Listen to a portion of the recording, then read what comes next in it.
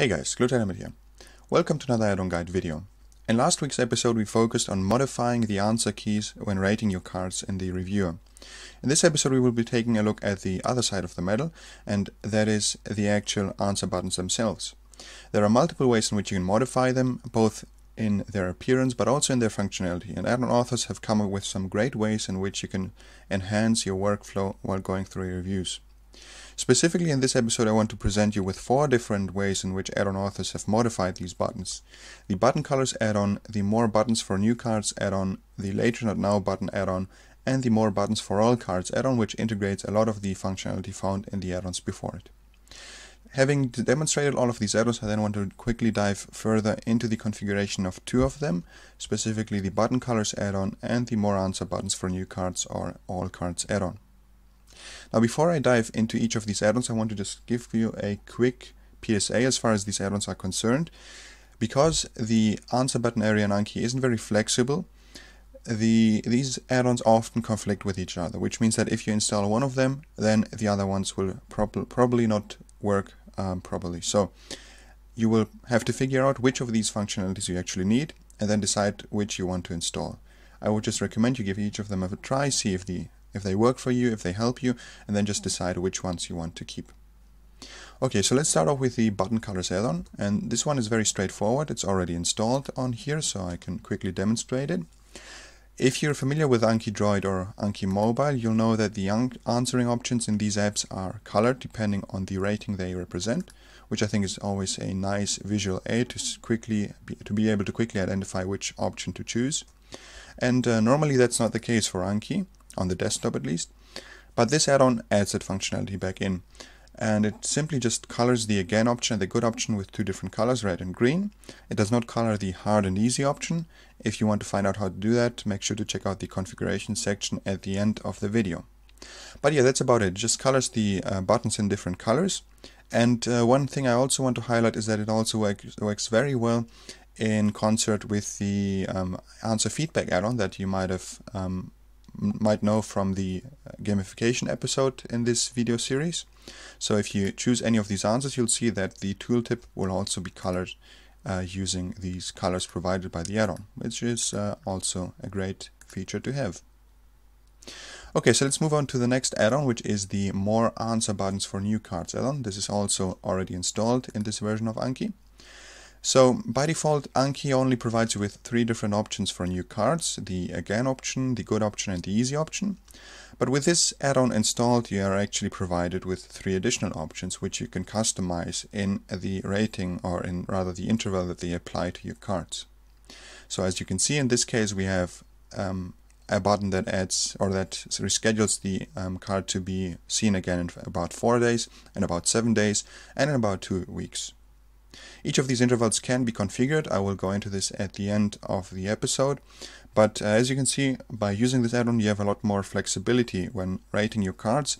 And I would like to use this specifically when I create uh, notes of my own. I oftentimes when I just um, work on a lecture and just create some new notes. I'm already so familiar with the material that I don't really have to go through all of the learning steps and go through reviewing the cards uh, tomorrow and the day after, etc. And in those cases, when I uh, feel confident that I already know the material enough, I just use these extra buttons to reschedule it to be seen in a week, for instance. And as you can see, this add-on also comes with some tooltips as the answer confirmation add-on, so it will also work well together with that add-on. One thing I want to highlight with this is that it only presents these buttons for new cards. It does not work for cards that are in review. Um, so the reason for this, this is actually one of the add-ons I um, I didn't write myself, but ra rather I uh, adapted from an earlier work by another author, but still it's one of my own uploads. The reason why I did not enable this functionality for other cards as well is because the easy function as is is already quite dangerous. Um, you have to re realize that the intervals when going through your reviews in Anki already scale exponentially. So whenever you use the good option, that would already increase the existing interval of the um, card exponentially. By choosing the easy option, it's even more exponential. It's even faster growing. So you really have to be very confident in your ability to recall an item to rate it as easy. Now, if you have this and then also add some additional buttons that even provide a larger interval than, e than what Easy provides, then that can be very dangerous. And I think it's not the right approach to Anki. But of course, I know that um, a lot of people have different workflows, so that's why as one of the next add-ons I will also present you with another add-on, the More Answer Buttons for All Cards add-on, where you can actually also rate your cards with these additional buttons, even if they are reviews. But first I wanted to quickly also cover one other smaller add-on, which is the Later Not Now button add-on. Um, this is once again an add-on by Dmitry Mikheev. You might have known him from some of the previous episodes. He's created a lot of different add-ons for Anki, a lot of fantastic add-ons. And this one is also a pretty ingenious thing. So one of the issues you might uh, encounter in Anki is that you're going through reviews and you stumble on a card that you know you can answer, but which you simply don't really have the answer for at this very moment. It might be on, on the tip of your tongue, and you don't really want to rate it as again or fail it for that simple reason.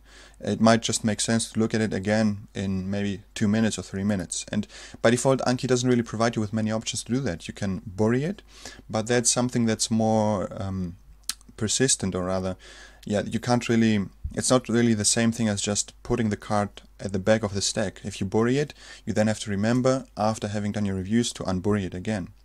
With this add-on, you have a new option, and that is this later not now button, which you can also invoke by using the escape hotkey. So what does this do? Well, if you're looking at a card like this, which is at the top of the card queue, by using this button, this will simply be removed from the queue. So as you can see, it now says you only have 99 reviews left. You don't actually only have 99 left, but this one is just um, put to the side for the time being. And you can do the same thing for the next card. So let's just do it for three cards. And as you can see, they do not appear in the queue. However, as soon as I move back to the deck overview screen and then enter back into the reviews, you'll see that the cards are presented to me again. So basically this just allows you, if you if you think of your Anki cards as a physical stack of flashcards. It just allows you to put a flashcard at the end of the stack and then just uh, deal with it as soon as you're done with the rest of the cards, which I think is a fantastic way to just put off cards that you just have on the tip of your tongue uh, so that you do not have to rate them again or to fail them. Alright, that's as far as this add-on is concerned. Now we will cover the more uh, answer buttons for all cards add-on, which is more than the um, than its title says. It doesn't just include the ability to have um, answer buttons for all different types of um, queues, of card queues, but it also comes with a lot of additional functionality. But, but as I've stated at the start of the video, a lot of these add-ons are incompatible with each other, so in order to demonstrate this, I will first have to uninstall the other add-ons I demonstrated in this episode so far. So let's uninstall the Later Not Now add-on, the Button Colors add-on, and let's also uninstall the more answer buttons for new cards add-on of course. And another thing you also as far as I remember let me just check. I think you also have to no you do not have to uninstall the confirmation add-on. Okay. So let's go ahead and install this. Copy the add-on code paste it into Anki then restart Anki and we should see the add-on work. So as we saw before the add-on provides you with additional buttons. But it's not just the only thing, only feature it has. As you can see, it also colors the uh, buttons in different colors. So it has the button colors add-on integrated. It also has the later not now button add-on integrated, as you can see. So that one is part of the add-on as well. And then of course the more answer buttons. And as you can see, they are not only active for new cards, as in this case, but they will also be active for cards that are in review or are in learning as in this case. So that's as far as this add-on is concerned. It's pretty much an extension of the More Answer Buttons add-on, but it provides you with a lot of additional features, including the functionality found in the Button Colors add-on, the Later Not Now button add-on, and also a few other features which you can find out if you read through the description. So it's a great add-on that combines a lot of different other fantastic works in just one simple uh, module. And one thing this add-on also does, which the button colors add-on doesn't do by itself, is that it also cover colors the again and the easy option, which as we saw at the start of the start of the video um, are uncolored by default in the other add-on. Okay, so that's as far as this add-on is concerned. Now I want to just quickly demonstrate how you can configure some of these add-ons. Since we've already installed the More Answer buttons for all cards add-on, I just want to start with this one, even though it's um, the other way around here in the overview. So let's just quickly explore, explore how you can customize the intervals provided here. For this, once again, you will simply have to find the add-on in the add-ons entry menu right here, and then click on Edit. So in here then you will just have to navigate to the configuration section, which is right here where, where it says extra buttons. So this just in terms of code is a list, so that's a square bracket which opens a list of different dictionaries. Dictionaries in Python and the programming language used by Anki are signified by a curly bracket.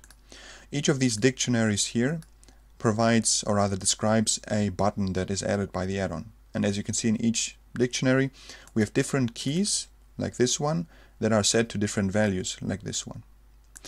So let's try to customize the last button that is presented to us to a an even larger interval. And let's see, that should be this entry right here, the fourth entry. And as you can see by default, it is set to reschedule the cards to two to three months. Okay, so let's start by updating the description. We want this to be rescheduling our cards to six months. Then let's change the label that is presented above the buttons, which we will set to six months as well. The shortcut, let's leave this at 9, which I think is makes sense, just in continuation of the other answering keys. And then here we have the actual meat, the actual uh, setting that governs how our cards are rescheduled. As you can see, we don't just have one interval, but actually two, the minimum rescheduling interval and the maximum rescheduling interval. So this add-on, like the other More Answer Buttons add-on as well, um, just tries to randomize the rescheduling a bit so that when you reschedule multiple cards at once, they don't just all fall on the same day, but are rather randomly spread um, over a small interval. So in this case, if we are working with six months, let's set the minimum interval to be, uh, let's say five months. So let's set this to be uh, 100, uh, yeah, let's set this to be 150 days. And as the maximum interval, let's, let's then go ahead and set this to 180 days so that we have a small variation here between five and six months, which should, should allow us to just spread the cards over that uh, month if we are um, rescheduling multiple cards in one session. Okay, so that's as far as customizing the buttons is concerned. One thing you might wonder is if you can add additional buttons, and that's one problem with this add-on, but also with the other add-on, also with the other More Answer Buttons add-on. It's simply a limitation in Anki. There is only a specific number of maximum buttons that you can actually add to those answer buttons. And by default, the number is limited to four. So four options is all you will get with this add-on, also with the other one. Um, but I think that's already ample. It already provides ample opportunity for, to you for you uh, to just uh, be more flexible in your reviews. Okay, so that's as far as customizing the buttons is concerned. There are also some other options in this add-on which you can find out about by reading the description. But for now, let's uh, let's just uh, save this code and just restart Anki to see our changes applied and let's go into the review and as you can see now we are presented with our new button right here which will reschedule the card to be to presented to be presented to us in six months alright so that's as far as customizing the intervals in the more answer buttons add-ons is concerned um, the same thing applies for the more answer buttons for new cards add-on it's the same you will see that the code is similar in how these different buttons are defined Okay, so let's quickly also demonstrate how you can add new colors to the button colors add-on. For this I will have to uninstall the more answer buttons add-on because as we saw before it's incompatible with the button colors add-on. And let's just reinstall the button color add-on then and proceed to demonstrate how you can actually customize this. So this will actually also be a good coding exercise if you're uh, thinking about starting to develop your own add-ons. This modification provides uh, requires a bit more uh, knowledge of how to deal with code so I think this will be a good exercise to demonstrate how you can modify an add-on like this which does not provide you with an easy to use configuration section at the top. So as you can see, the add-on is pretty simple. It's very few. It's very few lines. Just to give you an understanding of how it works, here we have a function definition. The function is called answer button list, and what it does is it generates an a list of buttons and returns them to the user interface so that the user interface can then render them in. And as you can see inside this function you simply have a series of conditional statements that govern how many buttons and how they should be rendered. So as you can see the add-on or the code here tries to find out how many buttons should be presented and for two buttons you'll see that the add-on will present you with the easy option which is here the L right here which is defined up here as a variable and the good option. For three buttons you will be presented with the again option, the good option, easy option, and for four buttons, or rather for else, for anything else, you will be presented once again for with the again option, hard option, the good option, and then the easy option. So what modifications did the add-on author perform? Well, first of all, you see for the again option here that the label is wrapped with a HTML tag, an HTML font tag. These tags at the front and at the back we'll make sure that the label, the actual label here, which says again, will be colored in red. And the same thing he also did for the good options in all of their instances. So here we have good colored in green and the same sequence you will also find for the other numbers of buttons. Okay, so let's start by um, finding a way to color the easy option. For this we will simply have to just um, look at how the add-on author did this for the good option and simply copy that over to the easy option. As you can see, we simply have to append one segment to the front of the label and also do the same thing with the back of the label with this closing HTML font tag. Make sure when copying these over to preserve the formatting, make sure that these stay outside of the brackets here and that you also include the plus signs so that they are appended correct correctly. Okay, so of course we do not want our easy button to also be colored green, so let's change this color as well. Let's change the assignment here to blue. Having done that, we will then just simply repeat the same step for the other instance of the easy label, which is down here. Once again, we just copy the prepending segment here, and we also copy the appending segment here. Once again, insert at the right position, make sure to preserve the brackets, and as you see it's the same principle again. So there we go. That's the easy button. Let's do the same for the hard button which is only which only occurs here. Once again copy the first part over put it in front of the existing label then copy the second part over put in at the back of the existing label and then let's change the color and let's set it to gray because that's also what Anki Droid uses for instance Okay, that's it. So, having done that, we should be all set up. So let's proceed to save the add-on. Let's hope that we did not, did not perform any mistake. And of course we did. So that's a good learning experience. With code like this, only one wrong character and only one small mistake can cause it to fail. So let's quickly go in again and see what mistake we did. It seems like we have an extra bracket here, right? Let's remove this. Okay, let's see if this works. If this doesn't work, then we'll just give up for now. Okay, that was it. Awesome. So yeah, as you can see, just one issue, one small character, and you see that um, add-on that Anki will throw an error, but normally it should be informational. The add-on error should provide you with more information on what, what you did wrong. Okay, so let's check our changes and see quickly how they uh, how they appear and let's go let's find a card that is actually a review so we can see all of the buttons at once. There we go. So as you can see the easy option is colored blue the um, gray option or the hard option is colored gray. So all of the changes we wanted to perform have been applied and that's exactly what we wanted. Okay so that's as far as con um, configuring this add-on is concerned. As you can see it's difficult. You have to be careful. You have to make sure you do not um, include any type of formatting error, but having performed the change then should allow you to just modify these buttons in whatever fashion you want. Okay guys, I hope you enjoyed this quick overview of different options to modify the answer buttons. Um, these are, I think these can have a, these can have a great impact on your reviewing experience.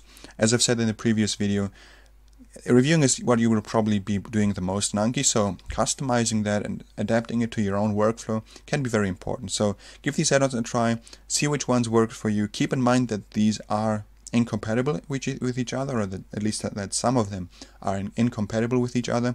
So make sure to try each of them out uh, individually, see which ones work together, and then find the configuration that suits your needs the best and just use it. Thanks for watching guys, thanks for tuning back in, make sure to stay tuned to the channel, there will be a lot of new videos coming out over the next weeks. Until the next time, good luck with your studies and see you soon.